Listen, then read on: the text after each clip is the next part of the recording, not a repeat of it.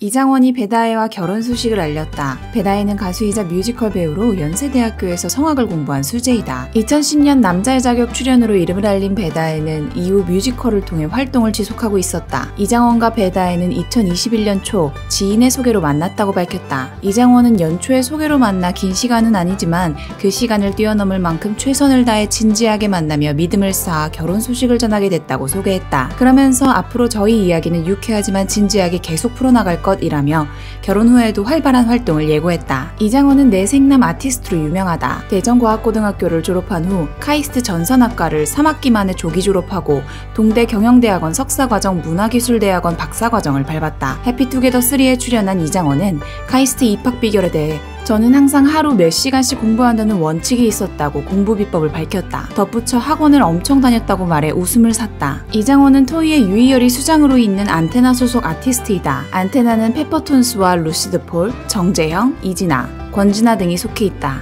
소속 아티스트들이 대부분 싱어송라이터로 K-팝 스타 시즌3에 유희열이 참여하며 아티스트를 대거 영입했다. 2021년 7월에는 국내 최고의 MC 유재석을 영입해 화제를 모았다. 한때 안테나 소속 아티스트들이 모두 학력이 좋아 영입의 기준이 학력이 아니냐는 우스갯소리를 듣기도 했다. 그도 그럴 듯이 대표인 유희열은 서울대 작곡가 출신이고 가수 박세별은 연세대 심리학과, 정재영은 한양대 작곡과, 루시드 폴은 서울대 화학공학과 출신이다. 페퍼톤스는 이장원과 신재평으로 이루어진 2인 밴드이다. 기타와 프로그래밍을 하는 이장원과 베이스를 맡은 신재평은 카이스트 전산학과 동기이다.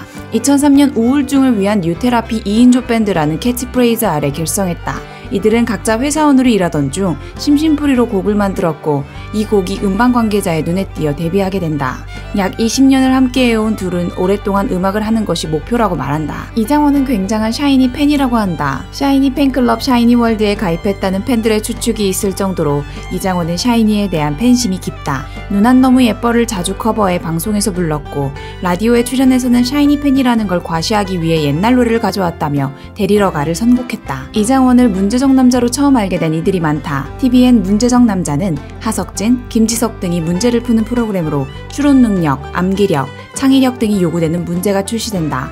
이장원은 이 프로그램에서 뛰어난 성과를 보이며 이름을 알렸다. 문제적 남자의 PD는 이장원이 인생 2회차처럼 즐긴다고 밝혔다. 이장원은 스타워즈를 매우 좋아한다고 한다. 스타워즈 관련 피규어, 티셔츠 등을 많이 소장한다고 한다. 신재평은 이장원의 집을 스타워즈 박물관이라고 부를 정도이다. 이장원은 가장 좋아하는 캐릭터로 다스베이더를 꼽았다. 한 인터뷰에서는 인생에 가장 큰 영향을 준 인물로 같은 멤버인 신재평과 조지 루카스를 꼽았다. 이장원은 일주일 내내 게임을 할 정도로 게임 덕후라고 한다. God of War 시리즈와 함께 FPS, RPG, AOS 가리지 않고 웬만한 게임은 다 하는 것으로 알 수 있다. 심지어 신재평은 이장원이 결혼한다는 소식을 듣고는 이런 글을 남겼다. 요즘 네가 낯설다. 연초에 네가 만나는 사람 생겼다고 했을 때만 해도 또 게임 캐릭터를 얘기하려고 저러네. 하츠네 미쿠 같은 소리하고 자빠졌네.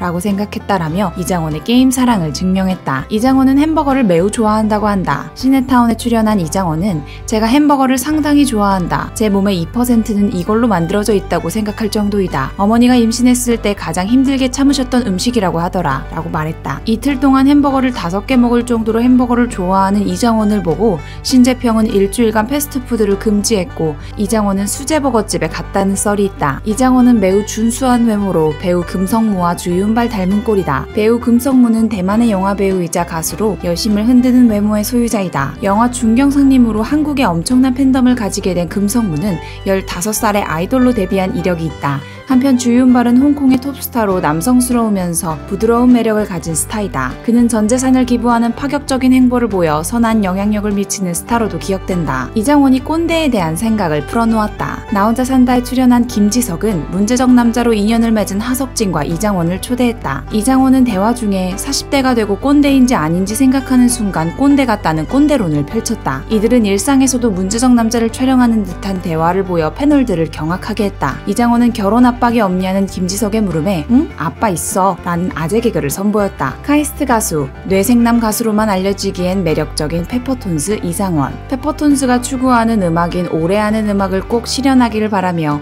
편안한 음악으로 우리 곁에 머물기를 바랍니다. 오늘 영상 여기까지입니다. 감사합니다.